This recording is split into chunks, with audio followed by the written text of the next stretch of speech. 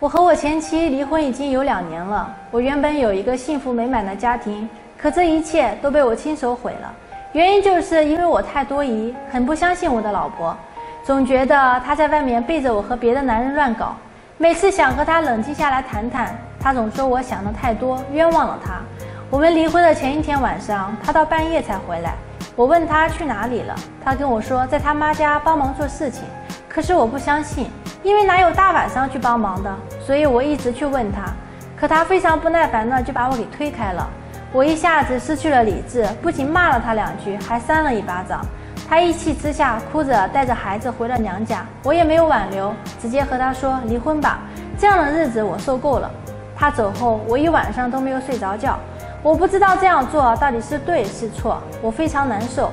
但是第二天直接开车去了民政局。那个时候的我大脑一片空白，也顾不了那么多了。到了民政局后，我给他打了个电话，让他过来把婚离了。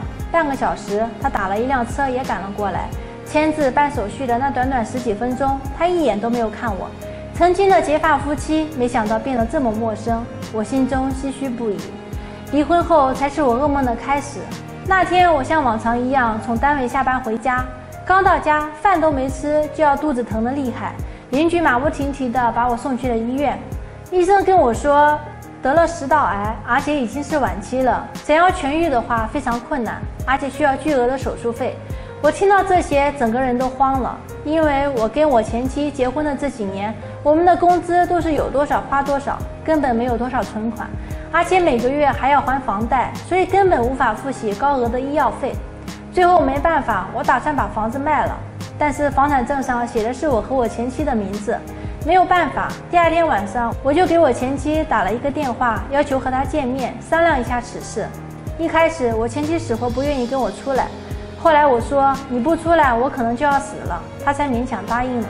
我直接跟她说我得了癌症，需要很多钱治疗，我打算把我们的房子给卖了，因为房产证上有你的名字，所以和你说一下。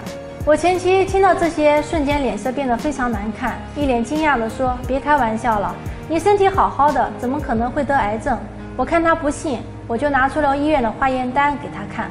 他看完后，久久说不出话。你先回去吧，我考虑两天再给你答复。两天后，他来医院看我，来的时候还把我们的孩子带来了。